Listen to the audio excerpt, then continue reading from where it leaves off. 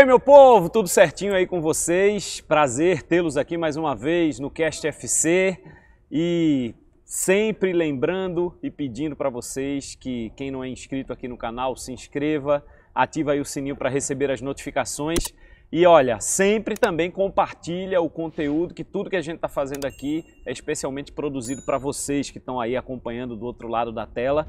E, pô, acompanha e compartilha para que mais gente tenha acesso, para que esse conteúdo chegue para mais pessoas e assim outras pessoas possam também ter acesso a tudo que a gente está fazendo aqui. Beleza?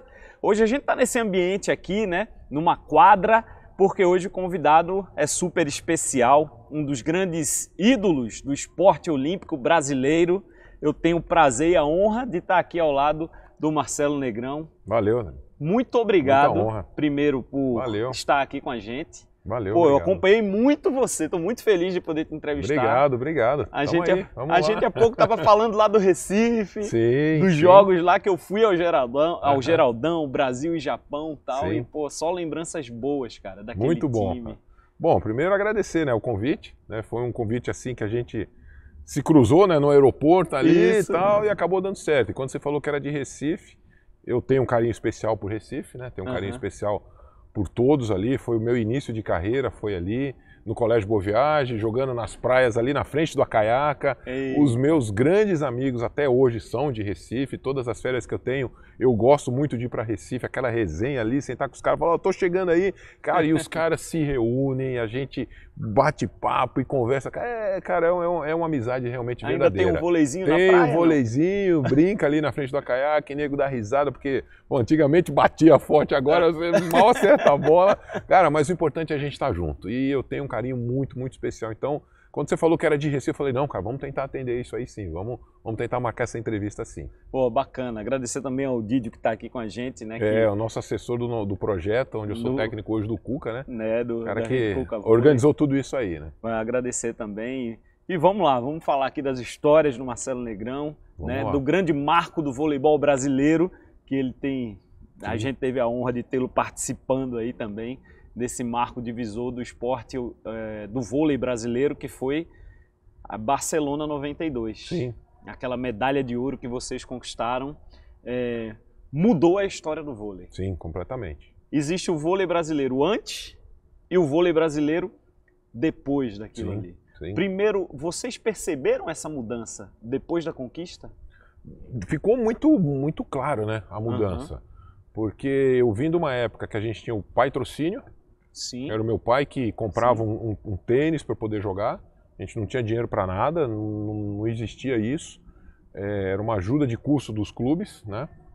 E depois do, do- da medalha de ouro, entrou o grande patrocinador que é até hoje, se não me engano, que é 30 anos, se não 29, porque eu venho antes ainda do, do, do Banco do Brasil, que a gente está falando, eu venho da época que ainda tenho até em casa camisas da seleção brasileira com a Caixa Econômica. Aham. né? Então era outro patrocinador, era- eram outras condições. E depois que a última bola caiu no chão, que foi aquele saque meu ali, é, entrou o Banco do Brasil, cara. E a gente vendo o que que era o Banco do Brasil, bonezinho na cabeça para entrevista, evento, e, e a coisa mudou. E a gente, meu Deus do céu, o que, que é isso? Onde é que a gente está agora? É, atletas ganhando já salário pela seleção brasileira, a gente não ganhava salário pela seleção brasileira, melhorou muito. Todas as condições de treinamento melhoraram muito, todas as condições de viagem melhoraram muito. Você imagina aí daqui até o Japão, 36 horas, todo mundo numa classe econômica, depois que entrou o Banco do Brasil, não, Do já paga. que vocês é, têm, já né, paga, pô? já paga uma classe executiva para os caras, já tem uma distância É. maior do avião.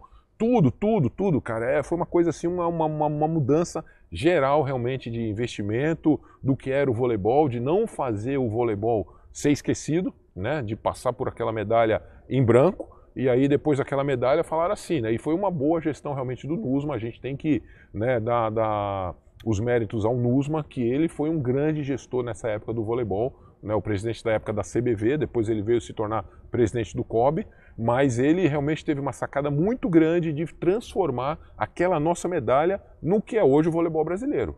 Então a gente deve muito a ele também. Pô, aqueles jogos, né? Vocês, é, a gente, né? A seleção vinha de duas Olimpíadas Sim, sim, a gente teve a geração de prata, sim, que foi Né? importante. foi importante. Inclusive o, o Amauri fez parte, né? Fez dessa parte. seleção de Aham, 92, que era o cara que tinha vivido, né? Sim. O que a gente tinha passado nas Sim. duas a- Olimpíadas anteriores. Sim. E aí, pô, acredito que, é, apesar da gente, claro, sempre querer ganhar, é, ninguém imaginava onde o vôlei brasileiro poderia chegar. Sim. Sim. Né? E Como foi isso lá com vocês, né? Bom, o, o, o Amauri, ele foi uma, uma, uma peça-chave, é, não no, no esquema de jogo, não, não isso, mas dentro do, do grupo.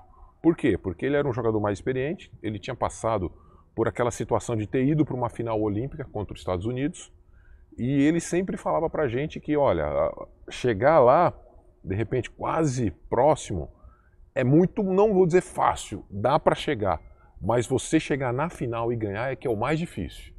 Então que a gente tinha que se manter unidos o tempo inteiro, que nós tínhamos que nos manter concentrados o tempo inteiro, manter o foco o tempo inteiro, que apesar de já ter chegado numa, numa, numa final olímpica, ele naquele momento e o time naquele momento ficaram vislumbrados e acabaram perdendo uma final que contra um time que anteriormente eles tinham batido, eles Sim. tinham ganho.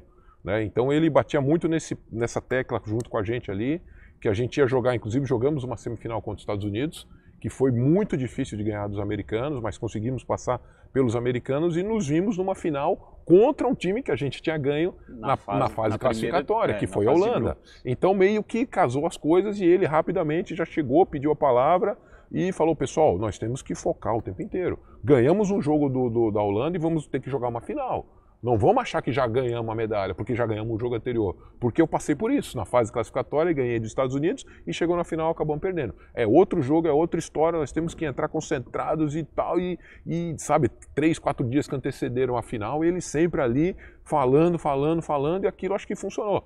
Tanto que nós entramos naquela final contra a Holanda como se nunca tivesse jogado antes. Entramos realmente encarando os caras como se fosse aquele jogo ali decisivo, sem entrar de salto alto, sem achar que ah, já ganhamos o jogo, vai ser fácil aqui. Não, muito pelo contrário. E foi do começo ao fim, cara, pelo amor de Deus. E aí muita gente pergunta pra mim assim, e o que, que passou naquele momento seu, naquele último saque ali?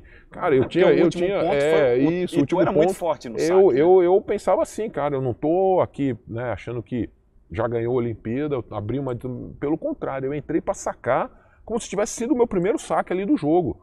Pra matar o tempo inteiro. Então sabe aquela história de entra sem sem dar mole o tempo inteiro, acelera o tempo inteiro até o final? Foi exatamente isso, né? E quando eu joguei aquela bola pra cima, eu dei a porrada ali com vontade, pensando que ah, tá começando o jogo agora, eu preciso entrar firme. Não vou amolecer pros caras porque a gente tá com uma distância grande, ganhando o jogo muito bem. Muito pelo contrário, foi até o final. E aí, lógico, né? Eu acabei, fui graciado aí, fui agraciado, né? Por, pelo, por esse último ponto, por ter feito aquele ace ali e acabei entrando para a história como né, um dos repre- grandes representantes daquela geração, né? É, e você foi o melhor atacante, né, daquela Fui, fui o melhor né? atacante, fui o melhor atacante. No ano seguinte, depois, eleito como melhor jogador. E ali começaram, né? Ali começou a transformar a vida do vôlei do Marcelo Negrão também. É, porque você tinha 19 Tinha anos. 19 anos. É. Aham. É, era um ah, dos mais jovens ali né, Sim, sim. daquele grupo. E, pô, eu me lembro que o Brasil foi campeão invicto, Sim, perdeu só três sets três sets. toda a Aham, Olimpíada. aham.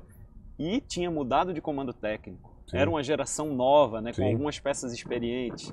Como é que foi essa, essa preparação, essa transição e para chegar a esse mérito assim de primeira medalha do, de um esporte coletivo brasileiro em Jogos Olímpicos? Bom, a, a coisa que eu sempre falo, acho que todos os meus companheiros, quando a gente vai dar uma entrevista, é que a união da gente era muito forte.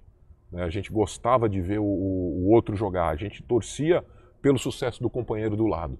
Isso, é- esse, é- esse é o grande segredo né? de, uma, de uma equipe, de, de uma empresa, você torcer pelo trabalho do seu companheiro, que são trabalhos distintos, mas ao mesmo tempo um ou outro vai brilhar. E você não ter esse negócio de vaidade. Você não ter esse negócio de, ah, o cara tá melhor do que eu, ou muito pelo contrário. E a coisa, né, vamos dizer assim, maior de todas era o teu correspondente ou o teu substituto torcer por você. Pelo amor de Deus, onde você con- consegue isso aí no, no- É. no mundo hoje corporativo, numa equipe? É muito difícil. Muito difícil. Geralmente a pessoa quer pegar o lugar da, da- da outra, Sim, Geralmente um jogador quer pegar o lugar do outro porque quer uma oportunidade, quer jogar, quer jogar. E naquela seleção não tinha isso.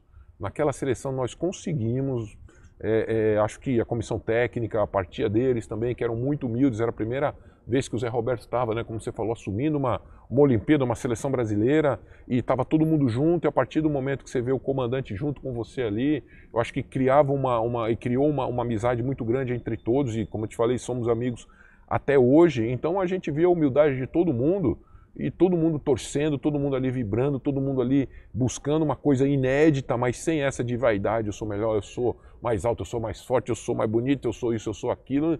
Acabou, cara. Era todo mundo igual. Todo mundo igual e, e, e, aquele negócio de, pô, o Giovanni atacar, eu atacava uma bola, eu, pô, Giovanni, que bola linda que você bateu, cara. Sabe, o Tandy fazia uma defesa, caramba, Tandy, que defesa, cara. Porra, fiquei impressionado com você jogando hoje, cara, que bonito. Um começando a incentivar o outro, pelo amor de Deus, cara. Esse, esse é o sonho de todo técnico, de você conseguir motivar a equipe e que todos pensem de uma única maneira. É isso que eu levo. O meu legado hoje, né, como treinador agora, uhum. é tentar fazer a equipe pensar assim. Porque de todos, Rodrigo, de todos os clubes que eu joguei, eu joguei quase. Vai, eu comecei dos 10, fui até os 30 e 39. Vamos botar aí 29, 30 anos quase de carreira. Cara, em todos os lugares que eu fui, se essa metodologia não entrasse no time, eu não ganhava.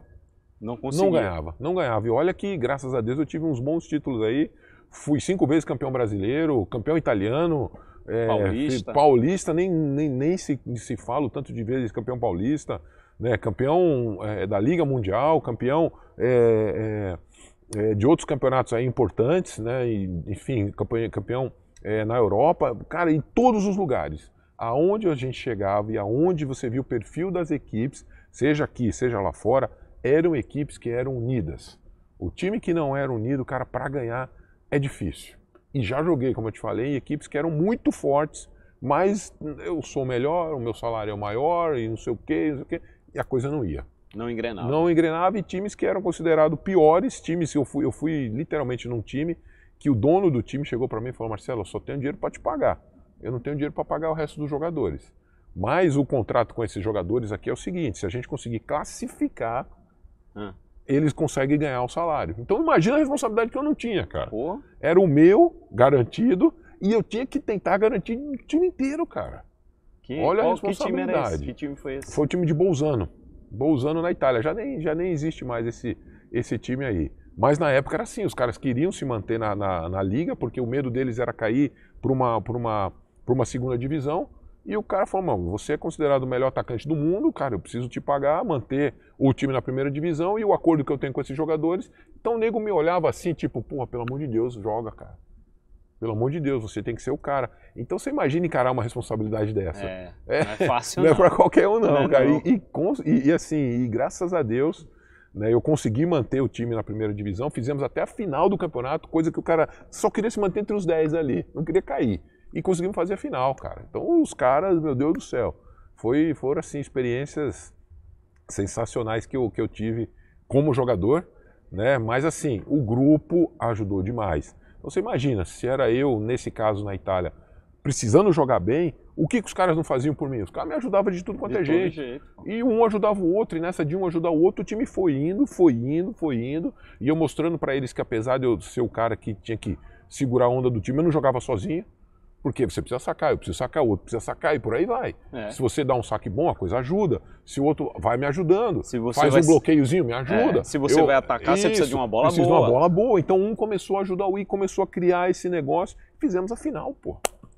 Que bacana. Entendeu? Então, assim, tudo isso é relacionado à, à, à amizade e sem deixar é, esse negócio de eu sou melhor, sem deixar esse negócio de na vaidade superar o grupo, meu amigo, o grupo vai longe. E isso aconteceu naquela Olimpíada de 92. Agora, sim, o, o que a gente via na quadra era um voleibol muito diferente. É, era um voleibol Em termos diferente. de, de, de jogo, de jogada, de ataque. Sim. O que é que foi tão modificado assim no time do Brasil? Não, tinha, tinha algumas coisas assim interessantes, que eram, por exemplo, você tinha três ponteiros jogando no mesmo time.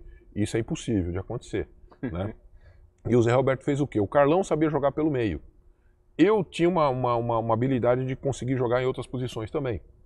Então ele reuniu três atacantes, que era o Tandy, o Giovanni e o Carlão, no mesmo time, pedindo para o Carlão fazer uma passagem de meio, como homem de meio, num determinado momento. E eu, que era oposto, conseguia também fazer uma passagem pelo meio, que era bloquear no meio e atacar pelo meio. Isso, pessoal, é, é, é o seguinte: não existe. No mundo hoje não existe isso.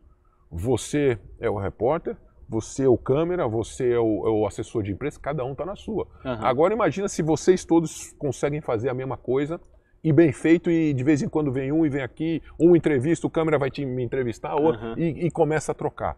Não existe. É a mesma coisa no vôlei. Existem as posições específicas e o levantador ele não vai ser central jamais. Né? O, o, passador ele não vai jogar de oposto jamais.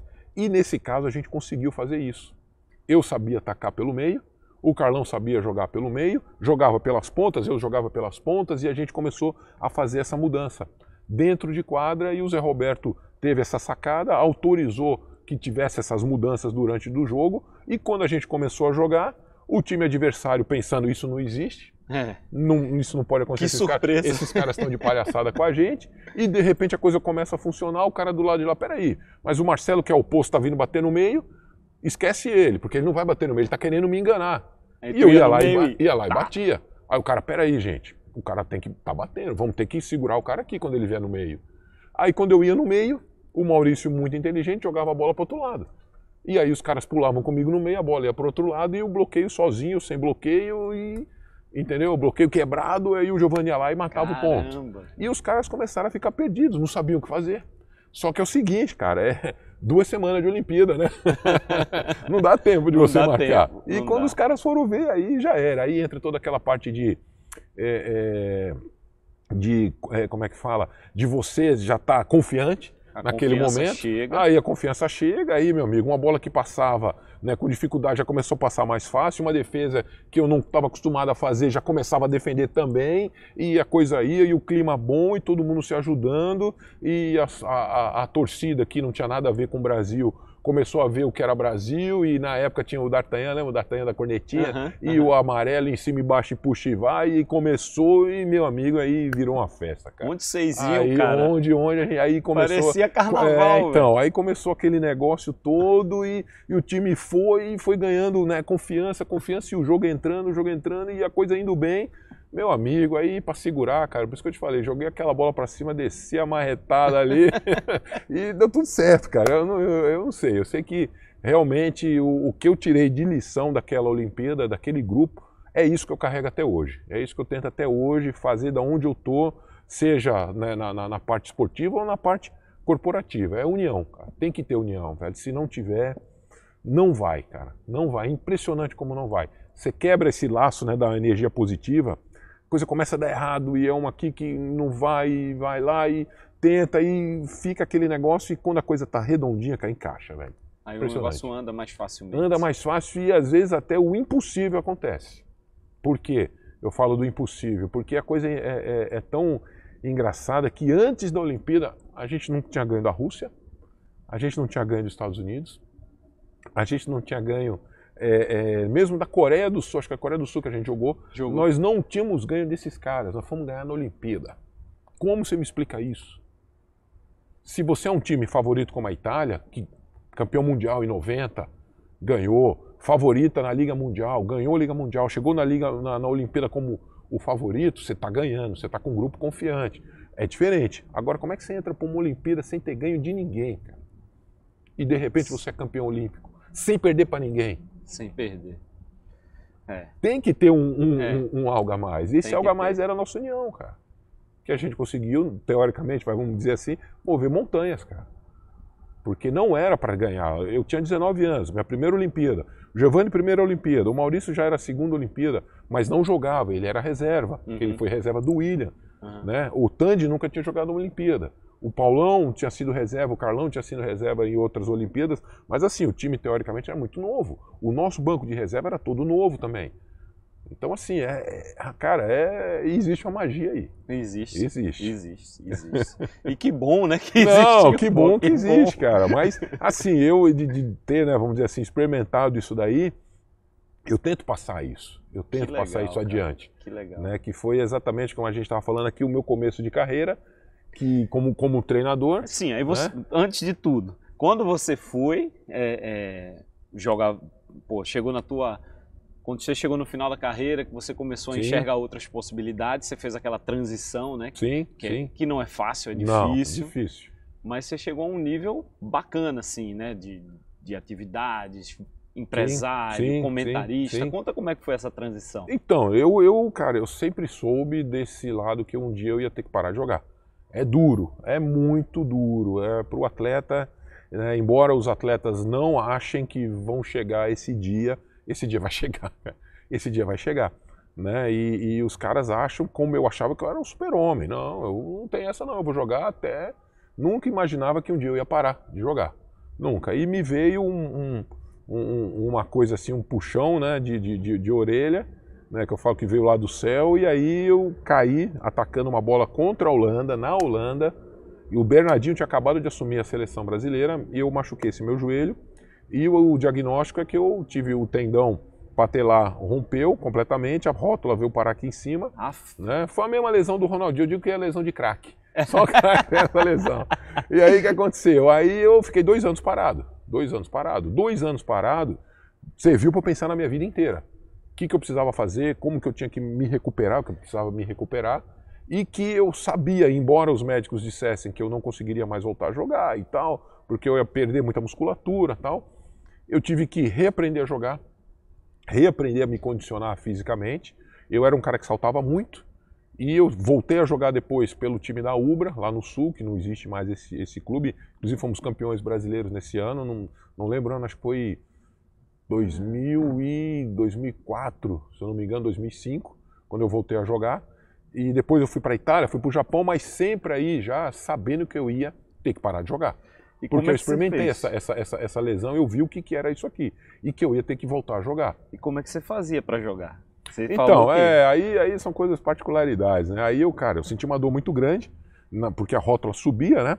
E eu pegava aquela fita 3M, a mais grossa que tinha, amarrava o joelho aqui, botava uma joelheira por cima, ninguém ficava sabendo disso, que tinha joelheira, né? Tava escondendo. Tava escondendo, mas, cara, uma dor insuportável e ia pro jogo, velho. ia não tomava um jogo. remédio pra passar Tomava, dor, tomava, um ou outro voltarei, mas, meu amigo, chega uma hora que não, não faz mais efeito. É. E ia pro jogo e aguentava o jogo e nesse meio tempo acabei eh, ganhando o Campeonato Brasileiro e fui chamado de volta para jogar na Itália. Fui para a Itália, fui para o Japão e depois aí Sempre com esse problema. sempre com esse problema. E daí veio o meu filho e aí eu resolvi ir para o vôlei de praia. Aí joguei mais cinco anos vôlei de praia, onde eu encerrei com 38 a, a, a carreira de jogador.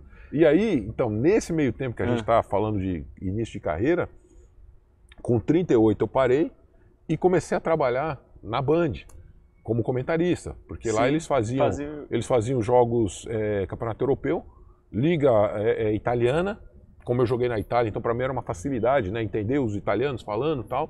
Então eu fazia liga italiana e da liga italiana eu estava lá como esse, esse, esse cargo de comentarista, fazia uns trabalhos de palestrante no, no Banco do Brasil e tenho as academias, que foi nesse meio tempo que eu machuquei o joelho, que eu vi que eu precisava de alguma coisa, porque um dia eu ia parar de jogar e eu precisava ter uma renda, Aham. né? Porque esses dois anos que eu parei de jogar, eu fiquei sem renda nenhuma. E, cara, então, como é que você fez pra é, se virar? cara, eu fui dar aula de vôlei pra molecadinha, tentava fazer palestras, eventos, participação especial em um e outro lugar para de ganhar, pra ganhar um cachê, entendeu? Eu me virei nesse sentido aí.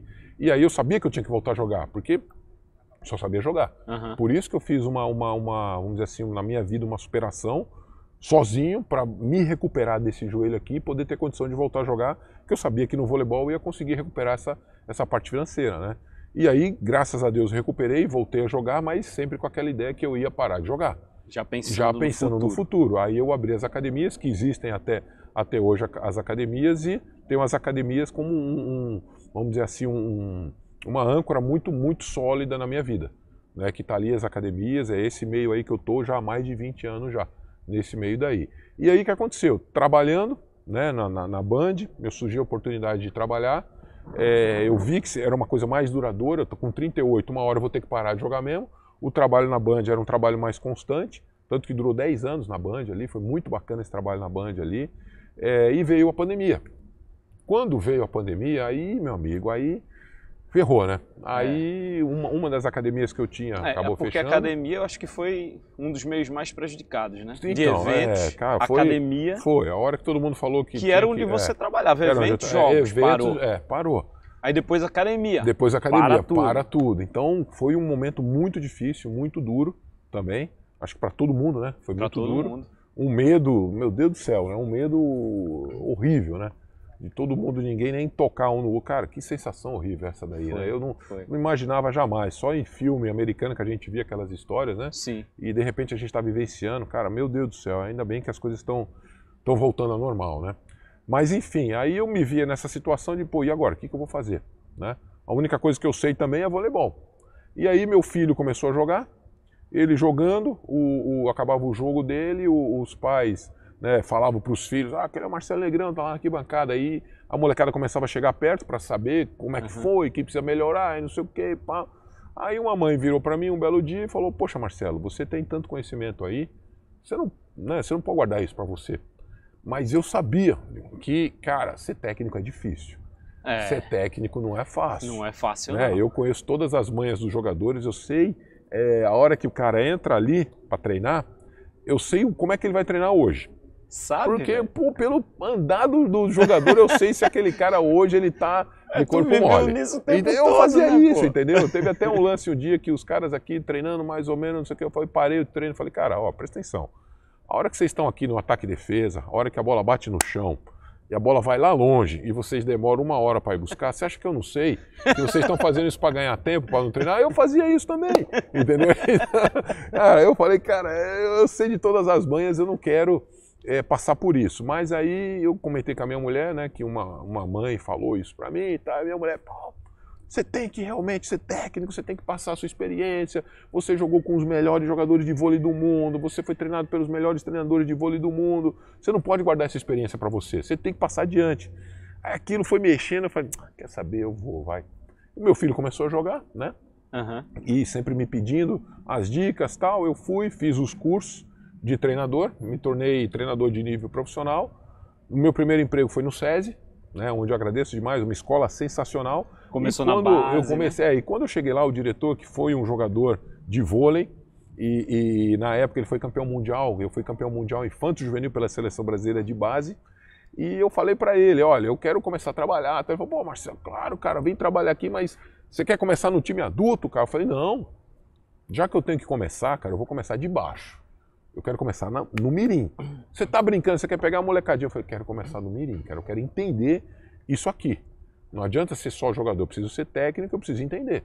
E eu comecei na base, no mirim, montando a rede nas quadras externas, sol, chuva, e espera a chuva passar, puxa a água com o rodo, e a molecada vai, a molecada É, a não molecada- sabe dar toque, e você molecada pega é na mão dele, bota a mão assim, a mão assada. Uma experiência sensacional. Eu vejo meu filho É de um- 9 anos, hoje. Cara, é uma experiência, é uma experiência sensacional, sensacional. Aí eu fui no Mirim, rapidamente o, o, o César falou, cara, você vai ter que chegar no adulto. Então, mas Uhum. vai levando. Mirim, infantil, infanto juvenil, juvenil. Quando eu cheguei no juvenil, veio a pandemia, né, onde pegou e bloqueou tudo geral. Quando a coisa começou a jogar, o SESI tinha a vaga para se jogar na Superliga principal, que aí bloqueou os ginásios, era Sim. só os atletas, atleta de máscara, lembra todo mundo jogando de Lembro. máscara, tal. E eles falaram assim, Marcelo, o único time que tem hoje é o teu, o time adulto profissional foi dispensado e temos a base aqui para jogar a Superliga principal. Eu falei, Meu Deus do céu, que desafio é esse, cara?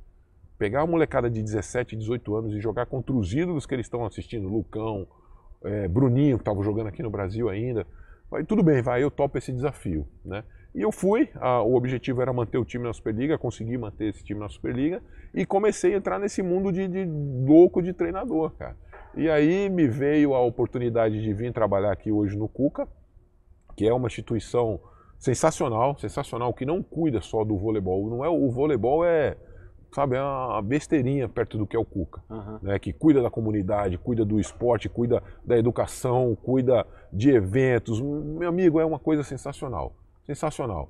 Né? Então eu falei, poxa, eu, eu quero e eu quero mudar a, a, a história do esporte do voleibol no Nordeste. Porque eu comecei em Recife, Sim. eu sei que os times de, de, de, de vôlei e todos os grandes jogadores saíram de- do Nordeste e foram para o Sul e Sudeste, porque lá tem as condições melhores, mas eu falei, eu quero mudar isso, cara. A gente tem condição de mudar isso no Nordeste. A gente tem condição de dar treinamento adequado, a gente tem condição de dar condição para um atleta né, vindo do Sul e Sudeste para cá, para o Nordeste, até estrangeiro a gente tem condição. Eu falei, meu, é a oportunidade que eu, que eu gostaria. E a gente está começando, está começando. Não é fácil, confesso para você que não é fácil, porque a cultura do, do, do, do nordestino é uma cultura diferente. Né? No Sul e no Sudeste o esporte é levado muito a sério, mas muito, muito a sério. O cara vive daquilo, o treinador vive daquilo, o assistente técnico vive daquilo, o jogador vive daquilo. Aqui é... Só voleibol o dia inteiro. Aqui, aqui você já tem um, aqui é um uma pouco, disparidade, Isso, né? isso. Aqui o pessoal está começando a ter esse conceito de treinar três vezes por dia, que são seis horas de treino por dia. Né? E, e, eu vindo daqui, eu sei como que era, eu sei como que é. É uma diferença muito grande cultural em termos de treinamento. Mas o alto rendimento, meu amigo, é Fórmula 1, cara. Você está na Fórmula 1, a gente está falando de altos salários hoje em dia. O jogador é diferente da minha época, né? É. Que era o patrocínio hoje, o jogador já ganha 200, é, 250, 300 mil reais por mês, cara. A gente está falando quase que salário de jogador de futebol. Não, jogador de futebol de, de alto, alto nível, né? nível de, de, times Exatamente. Flamengo, é, é, Exatamente. times grandes assim. Ah, agora o Fortaleza, né? A gente está aqui em Fortaleza. Fortaleza esse ano, 2023, já tem um orçamento absurdo, né, de é, futebol. Exatamente. Ah, entrou no, no sim, na roda sim, também. Sim. Mas é, é uma coisa realmente de time de ponta, de né? time de ponta. A gente tem times hoje como o Cruzeiro, são 10 milhões por ano de investimento, por ano. Não é que o cara ganhou uma vez com 10 milhões e o ano que vem, por ele ter sido campeão, ele vai diminuir, ele aumenta, se possível, mais ainda, para ser campeão brasileiro.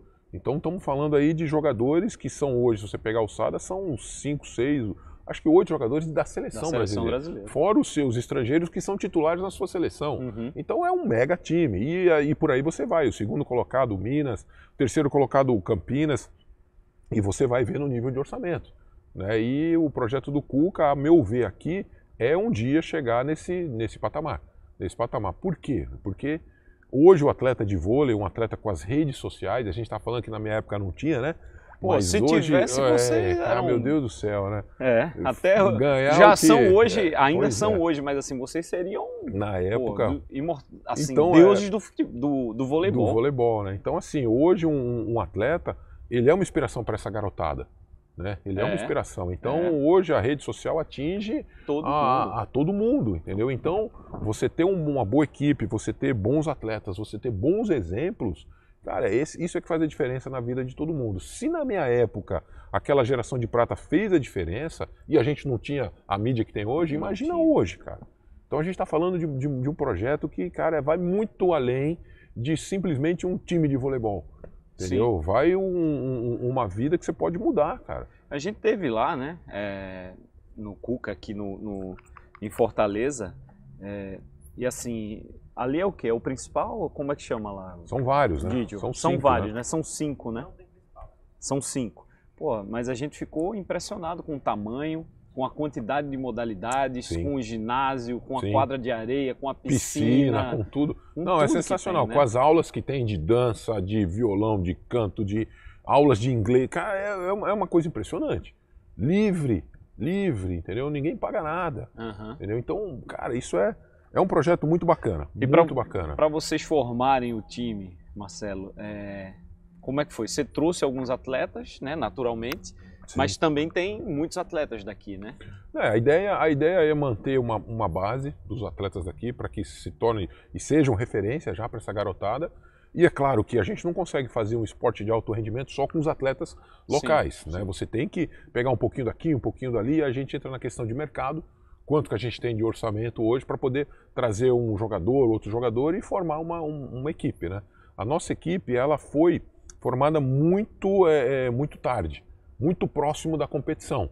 Né? Mas a gente está batalhando, a gente está treinando, a gente está batalhando. Os, os, meninos, tanto daqui como os de fora, compraram a ideia do projeto, de manter essa equipe na, na, na Superliga, de representar, melhor dizendo, o, o, projeto Cuca.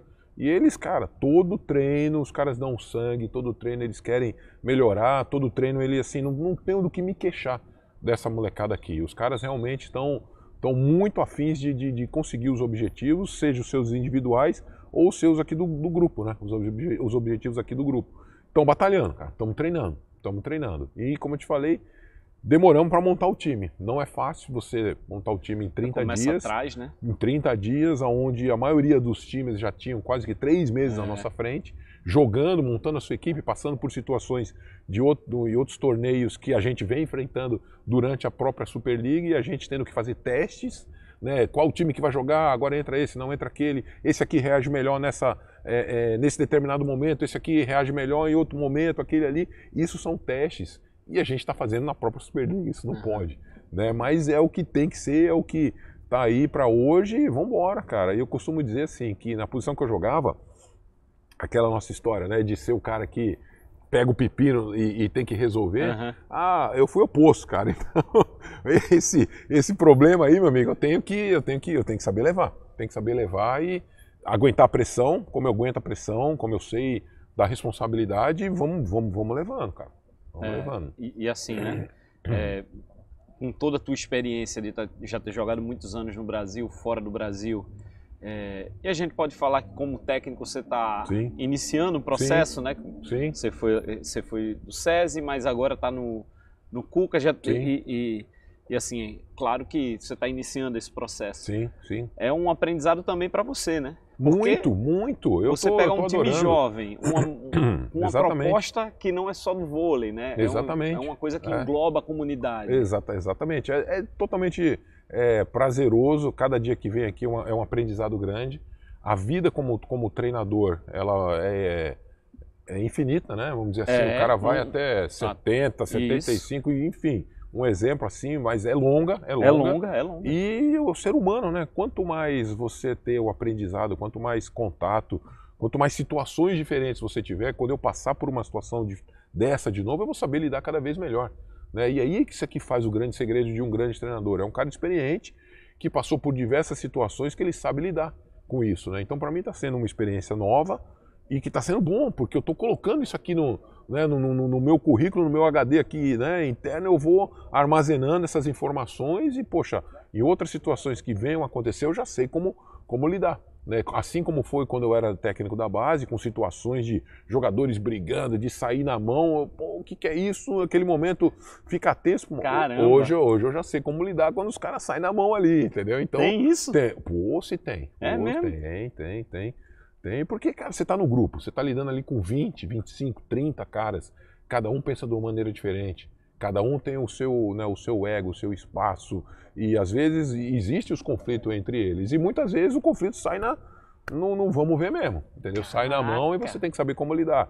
Então, isso que eu tô te falando, são experiências que para mim está sendo muito importante.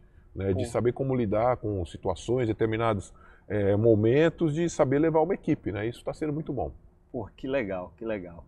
Bom, a gente vai continuar o papo aqui com o Marcelo. Antes eu quero falar agora da nossa parceira da Bet Nacional, a Bet dos brasileiros, a Bet do Vini Júnior, a Bet do Cast FC. Tá aqui na sua tela aí a plataforma da Bet Nacional, né, com todas as modalidades esportivas. Vôlei também está aqui para você profetizar na Superliga, em várias modalidades, em vários tipos de campeonato. A Bet Nacional está aqui para você usar e abusar. betnacional.com é o endereço da tua sorte e da tua profecia. Bom, vamos colocar aqui um, um jogo para eu te mostrar as funcionalidades aqui que a Bet Nacional apresenta na sua plataforma. Ó, tô colocando aqui um jogo que está rolando agora, né? Nesse momento que a gente está gravando esse programa. Tem esse campinho interativo aqui que te ajuda na hora da tua profecia. Tem todas as possibilidades aqui de estatísticas também que você pode acompanhar em relação ao que está acontecendo, a probabilidade de vitória, encontros anteriores, enfim. Você fica aqui com todas as possibilidades para que você possa acompanhar, você possa consultar e possa profetizar na Bet Nacional. betnacional.com é a bet dos brasileiros. Bom, vamos seguir aqui. Bom, Marcelo, a gente falou do marco do Brasil, Sim. Jogos Olímpicos, falou agora da tua carreira de técnico.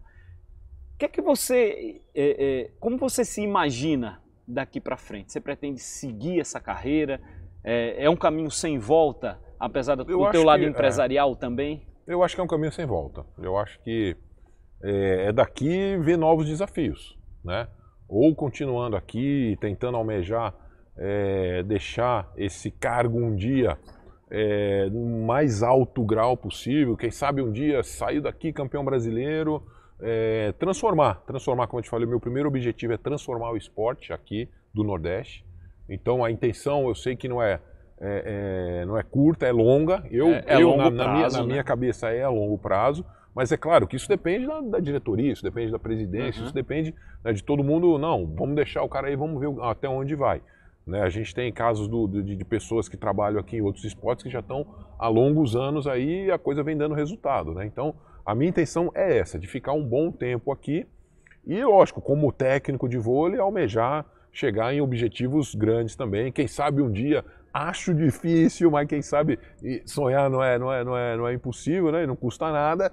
Quem sabe um dia técnico de uma seleção brasileira? Por que não? Por que Entendeu? não? Então eu, eu, eu acredito muito nisso aí, eu entrei nessa agora para ficar, principalmente no que a minha mulher falou, que eu tenho esse, né, recebi, vai, essa graça, esse dom de Deus aí de ter sido um grande jogador, e eu tenho essa, essa, essa, como é que fala, essa missão de passar adiante isso daí. É. né? Eu via o voleibol, Rodrigo, de uma maneira muito fácil, cara, muito fácil, entendeu? Para mim era muito fácil, que é uma coisa difícil hoje, como treinador, que eu tenho que chegar em casa, me controlar e saber passar melhor a dificuldade, entender a dificuldade do jogador. Porque eu enxergava, sabe aquele lance que você tá vendo e a câmera para, aí o cara tá olhando tudo em câmera Uhum, lenta, uhum. mas ele tá vendo.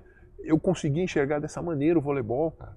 Eu conseguia, na hora que eu ia subir para bater, eu conseguia ver o bloqueio, via a defesa, via o cara se mexendo e eu falava, opa, o cara tá indo lá, toma aqui, o cara não pegava.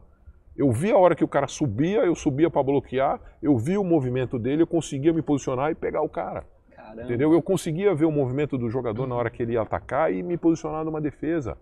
Tinha muita facilidade. E hoje eu sei que não é fácil. Aham. A velocidade é grande, né? Os jogadores são mais altos, são mais fortes. E mas em certos momentos a, a, a finalidade do voleibol é botar a bola no chão. Sim. E os caras não conseguem, o jogador tem dificuldade, o jogador, eu falo, cara, por quê? E eu fico na minha cabeça tentando achar soluções para o cara chegar e conseguir fazer. Entendeu? Então, assim, um- uma das grandes coisas que eu vi, até uma, uma entrevista de um americano falando que ele foi um grande jogador de basquete e ele não estava conseguindo entender por que, que os seus jogadores não jogavam, porque ele, na visão dele era muito fácil. Né? Então ele foi entender e tentar passar da melhor maneira possível é, é, o modo de jogar basquete no entendimento atual. Entendeu? Isso é o grande desafio que eu tenho hoje, porque, como eu te falei, eu vejo o voleibol tão fácil. Como é, como é que o cara errou a manchete? Isso é tão fácil fazer uma manchete. Os caras têm dificuldade.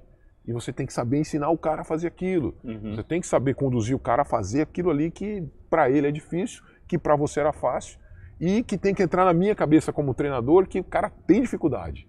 Além disso, né, da parte técnica do vôlei, Sim, tem a parte mental que pesa muito. Né? pesa muito. E esse trabalho é um trabalho que o técnico é fundamental. né, É Marcelo? fundamental e, e tem que ser um motivador, né? tem que ser um incentivador. E aí vem aquele lance da, da, da, da geração. Você pega a geração que você dá um grito com o cara, e eu venho dessa geração. Os caras gritavam com a gente, a gente ia pra cima. Ah, é, peraí, eu vou mostrar pra esse cara que eu sou bom. Dependendo da geração que você pega, dependendo do tipo de jogador que você pega, se você briga, o cara chora. O cara chora, cara. Homem, adulto. Em, em vez de. O cara chora na hora que você pede tempo, pô, o cara, você olha o cara, o cara tá começando a lacrimejar os olhos do cara. Aí você tem que chegar junto, peraí, calma, vem cá, vamos conversar, abraça, vamos ali de canto, pega uma água aí para o cara. E incentiva o cara, e assim vai, e o cara volta a jogar. Eu já peguei jogadores essenciais no meu time, antes do jogo, momentos de começar do juiz apitar, o cara chorando. Mas, pô, você tá chorando porque ah, eu quero parar de jogar. Não, meu amigo. Se você parar de jogar, quem vai levantar no time aqui? É, não tem como. Não pô. tem como, cara. Isso no vestiário, o juiz chamando pra jogar e o cara chorando. Aí você vai lá, calma, não é assim. Vem cá, você tá indo bem, incentiva e não sei o quê, e ganha o cara de novo, e o cara vai e joga, e quando sai do jogo, o cara agradece e ganha o troféuzinho lá ao Viva Vôlei, como melhor jogador da partida. É. E na minha cabeça, que fui, vai, um grande jogador, meu, É, na tua época, se, se que que Bronca é isso, fizesse cara? isso, É, você entendeu? tava. O que você que não é tinha isso, chegado onde você chegou. Eu, eu- eu- É. O que, que é isso, É. cara? Isso não existe. Não, mas É. calma. Eu penso comigo mesmo, Marcelo, calma, existe. Tenha calma, respire, peça ajuda pra Deus pra colocar as palavras certas pra você falar Aham. pro cara, pro cara voltar. Cara, é um. É um, aí É um desafio, viu? Você chega em casa destruído. Aí a minha mulher, pô, você treinou, cara? Eu falei, não, não treinei, não, mas eu tô muito cansado. Mentalmente. Mentalmente, cara, É. mas esgota fisicamente também. Também, né? Meu Deus do céu, cara, é por isso que eu sabia disso tudo, eu sabia, cara, eu sabia. E eu falei, eu não quero ser técnica, mas, cara, olha eu aqui agora. É Faz fogo, parte, é a faz sua parte, missão, É a minha missão, cara, é a minha missão, cara, pelo amor de Deus. né? Tá bom, vambora. Vamos embora, pra vamos encarar. frente. Só pra frente e pra cima agora. Difícil, mas vambora. Vem cá, é, a gente tá agora em 23, né? Ano que vem, Sim. ano olímpico, né? Sim, Vem aí Paris, e passa rápido, né? 2024. Meu Putz, Deus do muito céu, rápido, Muito né? rápido, E com, e com a pandemia encurtou tudo, Sim, né? O sim. ciclo. sim. Como é que você enxerga a nossa seleção para esse... Sempre bem, É. sempre bem. A gente não foi Acho- bem, né, nesse último ano. É, mas assim, o Brasil chegou em terceiro. É verdade. Então o Brasil não, Terceiro não lugar. deixa de subir no pódio, cara. Aham. Não deixa. Eu acho que a estrutura. Aí vem o legado, né? Hoje o legado é Saquarema, cara. Saquarema é um centro de treinamento com várias quadras, onde o jogador mora lá, se alimenta lá, faz a parte física lá com os melhores aparelhos, com a melhor fisioterapia, com os melhores estudos. Meu amigo, eu sou da época que, cara, você chegava para jogar contra a Holanda, e eu tenho histórias disso, e era um cara de 2,18m. Aff, Eu nunca vi esse cara na minha vida e o cara apre- a- ia jogar contra você, você, o que, que eu vou fazer? Eu nunca vi um homem tão grande na minha vida. Hoje não, cara. Hoje tem internet, o cara já sabe quem joga, onde joga, por que joga, que time o cara joga, como o cara ataca, o que, que o cara faz. Cara, e lá eles têm esse centro de treinamento, de estudo, de treinamento o dia inteiro. Se precisar treinar 24 horas, treina 24 horas. Não tem essa. Então o voleibol hoje se tornou um esporte, não é um olímpico, mas é um olímpico, entendeu? Que sobe no pódio em todas as categorias, cara. Masculino e feminino, vôlei de quadra e vôlei de praia. Então o voleibol hoje no Brasil é muito forte. É, isso você tem a certeza que eu estou falando aqui, né? Pode cobrar, se não ficar entre os quatro, você me liga, pô, Marcelo, não ficou entre os quatro. Putz, não sei o que aconteceu, mas com certeza entre os quatro, semifinal e final, o Brasil chega. O Brasil chega, isso é certeza, cara. Hoje virou uma coisa muito forte o voleibol, muito séria, levada muito a sério. Tem muito estudo, tem, tem muita, é, é, muita gente se preparando cada vez mais, tem preparadores físicos cada vez se aprimorando mais no próprio esporte, no movimento do voleibol. E, cara, eu venho de épocas que o jogador de vôlei corria 10 km. Eu não era maratonista, cara, mas tinha que correr 10 km. Entendeu? E levantava peso. Hoje não. Hoje não. Peraí, o jogador não precisa correr. Ele é jogador de vôlei, ele salta. Vai treinar isso, vai treinar aquilo. Treinar É, força. vai treinar força, vai treinar no específico. Então a coisa está muito evoluída, muito. Então por isso eu acredito que o Brasil dificilmente saia do pódio, dificilmente. Quem para você hoje é o... É, é até difícil, né, escolher, É. mas quem é o, o grande top, assim, hoje, na quadra? Quem é o jogador hoje que faz a diferença O, hoje o Lucarelli, o Lucarelli para mim hoje ele é um, é, um, é um jogador que não é tão alto, mas ele salta muito bem, ele é muito habilidoso, ele é muito forte e ele não treme em hora nenhuma. É um cara que hoje ele estando bem na quadra ele faz diferencial no Brasil. É o homem de gelo, né? É o homem de gelo e, e- e que tem uma personalidade muito forte, não se abala, está sempre mantendo o seu nível ali e decisivo nas horas que precisa.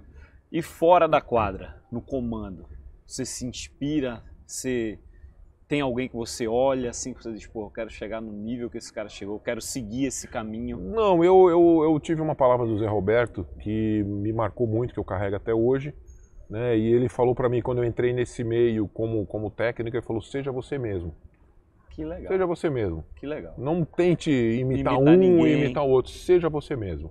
Então eu, eu vou me policiando, eu vou vendo aquilo que eu falei, como que serviu para o grupo, eu vou vendo aquilo que eu falei, a atitude que eu tive num determinado momento, se serviu, e eu vou eu me moldando como, como, como treinador e eu vou realmente usar essas palavras do Zé Roberto, eu vou ser eu mesmo. Eu vou ser eu mesmo. Quem é o adversário, ou quais são os adversários mais fortes hoje pra gente no vôlei? França, A França hoje está muito forte, a Polônia hoje é muito, Muito forte, forte. também. É, os velhos de sempre são sempre né, fortes, a Itália, Itália, Estados a Unidos. Itália, Estados Unidos, que não, não tem como a gente descartar isso.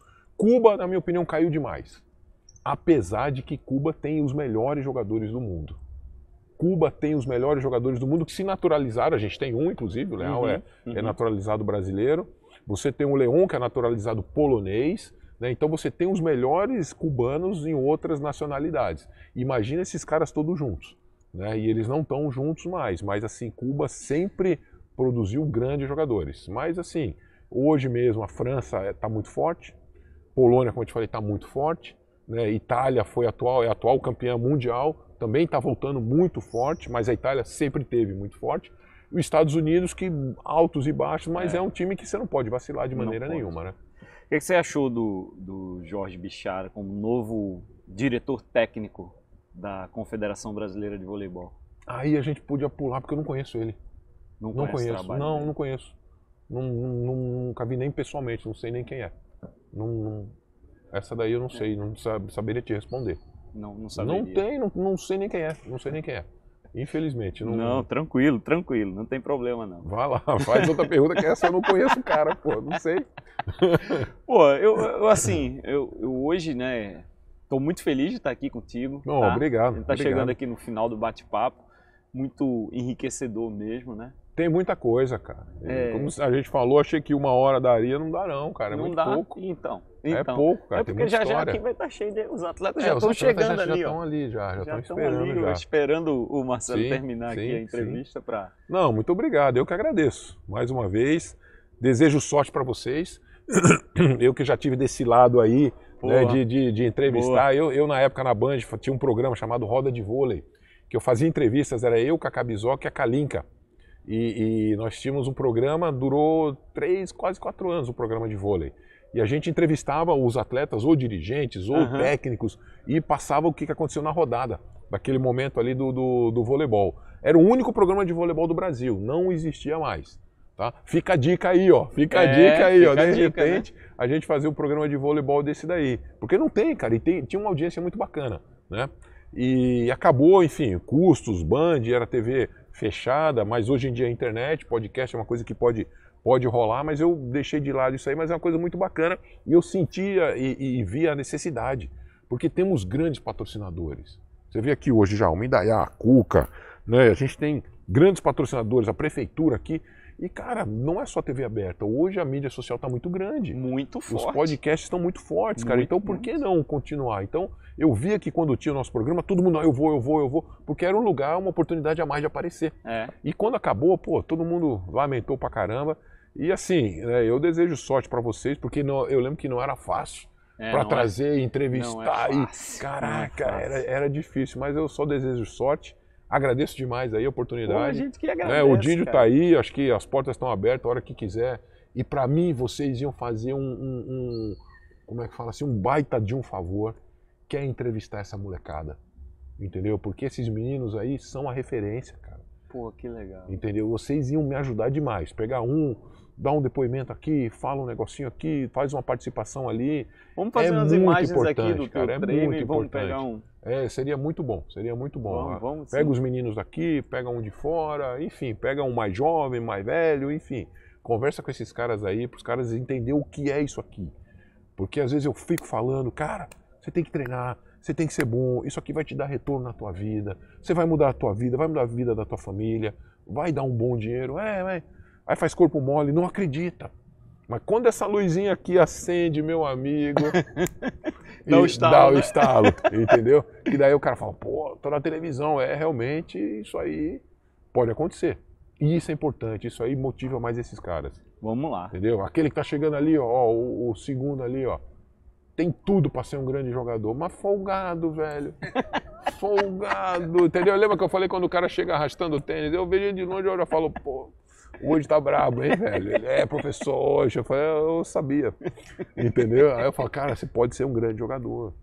É, Deus te ouça. Eu falei, trabalha que você vai ser. Não só Deus, né? É trabalho. É, é, é trabalho. Deus ajuda, mas é a gente trabalho. tem que fazer o da gente, Ex Exatamente. Né?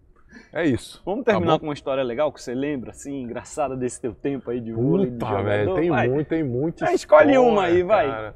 Meu Deus do céu, agora, rapaz, uma história boa. Bom, eu posso contar uma do, do Maurício, tá? Vai. A gente ganhou o Campeonato Paulista, sei lá, na época, jogando pelo Banespa, o clube que eu jogava, e o presidente da federação falou assim, se o, o time que ganhar o Campeonato Paulista vai ganhar, além da medalha, vai ganhar uma viagem para os Estados Unidos. Porra. Viagem para os Estados Unidos. O time inteiro. Bilhete aéreo para cada um. Pá, beleza. E Disney, né? Porra, oh. pra Orlando. Beleza. Ganhamos eu, Tandy, o Maurício, na época o Giovanni. Só que o Giovanni não quis e deu pro Luizão, infelizmente já falecido, um grande massagista, super conhecido, foi da seleção brasileira, um cara muito querido. E foi o Luizão, muito bem. Fomos para os Estados Unidos. Mas eu, eu não falo inglês. O Tandy eu não falo inglês. O Luizão eu não falo inglês. O Maurício, eu falo inglês. Deixa comigo que eu falo inglês. Aí tipo, pô Maurício, eu nunca vi você falando inglês nas viagens, hein? Não, cara, é que você nunca percebeu, eu fiz um cursinho, não sei o quê. Deixa comigo que eu falo inglês, porra. Então tá bom, beleza, né? Aí a gente chegou no aeroporto, aí ele, calma que eu vou pegar o carro. Carro? Como? Que história é essa de carro, cara? Já reservei o carro. Liguei, tá tudo certo. Tá tudo certo. Sabe que hoje é assim, né? Você é, chega no aeroporto é. e tem o um carro, você para ali e tal, já pega o carro e beleza. Eu vou pegar o carro. A gente tá bom, ficamos lá parado, né? Na porta do aeroporto, assim, aí vem ele com uma vanzona, a gente. Pô, o cara manda bem no inglês, velho. Porra, porra, Mauricião, caraca, velho. Que beleza, né? Tá bom. Aí, vambora. Aí a gente indo assim, aí começa a ver aqueles parques de água e não sei o que, e, meu amigo. Cara, acabamos de chegar do cansado do aeroporto. Que cansado o quê, cara? Vamos, Vamos aproveitar. aproveitar. E encostamos o carro na, na, na, naquele estacionamento gigante, sem nem saber onde parou. Trocamos de roupa ali mesmo, sunga, pai, parque de água, né? E, e água, e saiu de lá, meu amigo. Cadê o carro? Eita. Aquele estacionamento, eu não lembro onde foi, eu também não. Cara, Passamos o dia para achar o carro, a van, e van branca todo lugar tinha. E aperta o. E aqui, aqui, aperta o. Ele ali, ali, vai para lá, vai para lá, chama o carro, depois de horas. E sol desgraçado naquela no verãozão ali em Orlando, uhum. sol. Mas beleza, entramos na van e agora? Vamos comer. Todo mundo morrendo de fome, vamos comer, vamos comer. Eu falei, cara, eu tô, sou louco para comer aquele sanduíche americano, que os caras são bons de hambúrguer, é. não sei o quê. Grandão. Pá. Não, vamos, vamos arrebentar isso daí. Não, não vai dar, não vai dar, não vai dar. Eu não quero. Oh, sanduíche não, sanduíche. Pô, então vamos comer o quê? Uma massa. O Tandy gostar de massa, vamos comer uma massa, vamos comer uma massa. Beleza. Aí fomos andando. Aí viu lá, pizzaria, não sei o quê. Ele falou, ó, oh, vamos fazer o seguinte. Eu vou estacionando o carro aqui, vocês vão lá dentro, já vai pedindo alguma coisa pra gente comer. Ela vai pegando umas pizzas lá. A gente, beleza. Aí nós entramos, pisamos na porta, a porta uf, abriu, né? Oh. Aquele ventinho, a gente. Ah. Aí vem uma loirinha, baixinha, americana, bonitinha, olho claro. How many persons? Hoje eu sei. Quantas pessoas são, né? Quantas pessoas são. E. Não, a galera aí, mas peraí. Aí, many persons? Quantas pessoas são? Aí eu Peraí, aquela história de americano, brasileiro, né? fala com a mão, calma que vai chegar, vai chegar quem fala, tá dirigindo, manobrando o carro, vai chegar para falar. A mulher, how many persons? E a galera vira, oh, né? Quem que são esses caras aí? Tudo grandão. persons, how many persons? E a gente não sabia o que responder, calma. Aí entra o Maurício. A gente, Maurício, a mulher tá falando um negócio aí, cara. Aí ele, a mulher, how many persons? Aí ele, ela, how many persons? Já puta da vida. Ele, ah. Galera, é o seguinte, vamos vazar porque aqui é só porção. porra, esse era o cara que falava nosso Esse inglês. falava né, inglês, porra. porra. É isso. Porra, Marcelo, Beleza? obrigado. Valeu, valeu. Olha, a turma tá toda aqui, ó, tudo é, pra te olhar. Cara, fala aí, com os caras aí agora, meu irmão. Aí, ó. É, é o time do Marcelo. Fala é. aí, posso tirar aqui? Continua? Continua? Quem? Cadê o Mikael? Chama o Mikael, chama o Mikael. Vem cá, Mikael. Vem cá, Mikael. Ué, você não quer ficar famoso, Mikael? Vem cá. Vem cá, pô. Vem, Mikael. Vamos, Mikael, chega aí. Vai lá, Pretão, vai lá, pô. Bota essa perna aí pra jogar.